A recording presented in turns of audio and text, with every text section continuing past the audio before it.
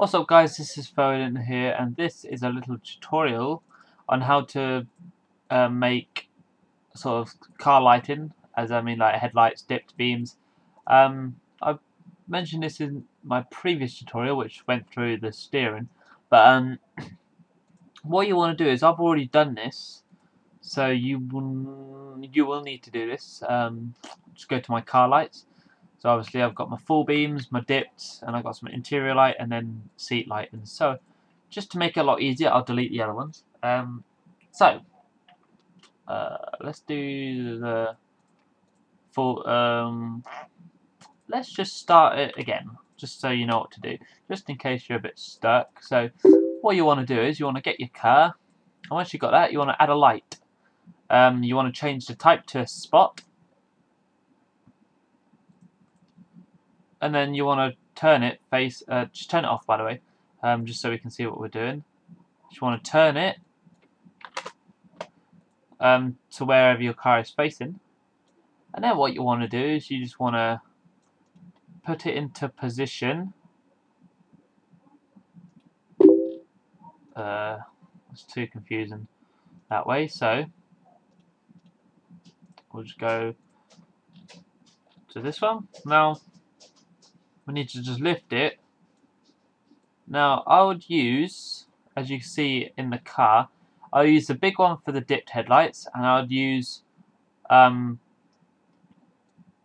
uh, and just use the end one for the full beams. Just, you know, just make it a lot easier for you guys. Um, doesn't really matter which one you use, but I I just do that for some reason. I don't know why. So once you've got that sort of relatively positioned in the same area where your light is on the car,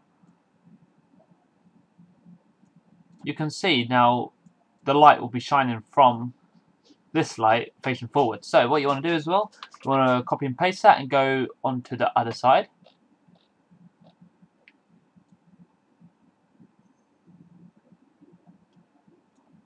And there you go. There are your... These will be our dipped headlights. But first of all, what we'll do is we'll just leave that as it is. Um, we want to copy and paste them again. But this time, we want to put them to the next light. So, there. Maybe bring them back just a little bit more as well. And then copy and paste that one.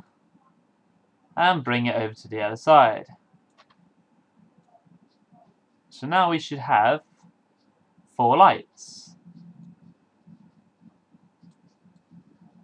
Just get this one into position. Sorry about the actual. Um, what I'll do is no, we'll not do it. I'll just leave it. It's running a little bit slow because one I'm rendering and two it's quite a big file um, due to the size and high poly model. So we have got four lights we want to switch off the end 2 because our full beam headlights um, should just be straight. Straight as it is now. Um, you barely need to touch them. So if we hide that one and hide that one we've got our dipped headlights but we need to dip them. So if you just want to select both of them rotate tool and just slightly dip them and then unhide the other ones you can clearly see which ones are the dipped and the full beams. So, what we should do, what you want to do now is um, switch all lights on.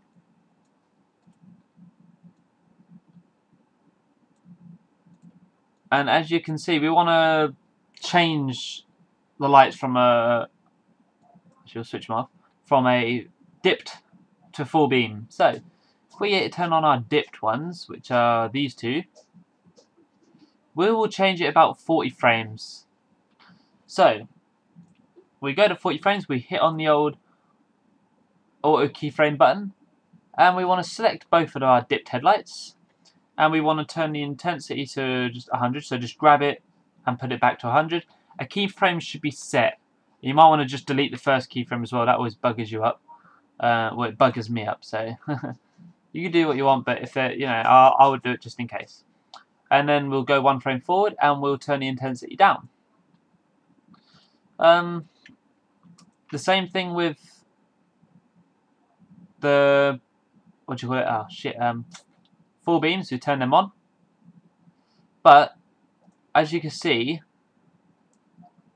at 40 frames, the dipped headlights are on. 41, they're off. So if we go to 40 and select our full beams, we want to set that to naught or zero, and then because that obviously the dipped headlights are still on. So when you move frame forward, there are no lights on because the, the dipped headlights have been shut off. So we need to switch the four beams on. So then we'll just drag this up to 100 because obviously the full, full beam lights are now on. Now, you could just leave it like that, or if you want to give it, give it just a little bit more effect, um, come off the... No, no, actually, we'll, we will need that. Um, where your light switch is on, you can choose to turn up the intensity just a bit more, just to make it a little bit brighter. Um, so as, as you will see now, we'll have our dipped headlights on, and then they will change to full beams. So it's not hard, and then we'll switch it back. All you've got to do is just turn one off and switch the other back on exactly the same time. So say 65 frames We'll turn the auto keyframe button on. We've got our full beam selected. Keep it at 140. Just type that in again. Click. Um, uh, where is it? These ones. Um, and then just move one frame forward. Select that to naught. And then come back a frame. Select our dipped headlights. Make the keyframe naught again. Move one frame forward where the lights have been switched off and change the dip to the headlights back up to 100. So what you can see now is we've gone from dipped to full beam to dipped. So that's sort of how to change um, different lighting unless you wanted to be really really picky and just use one light. Um, if I just remove all the keyframes, this is another way of doing it, but I don't do it just just to save hassle.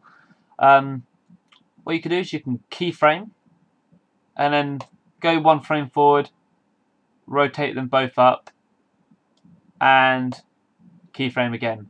So that will again change it from full beam to uh, or dipped to full beam or full beam to dipped.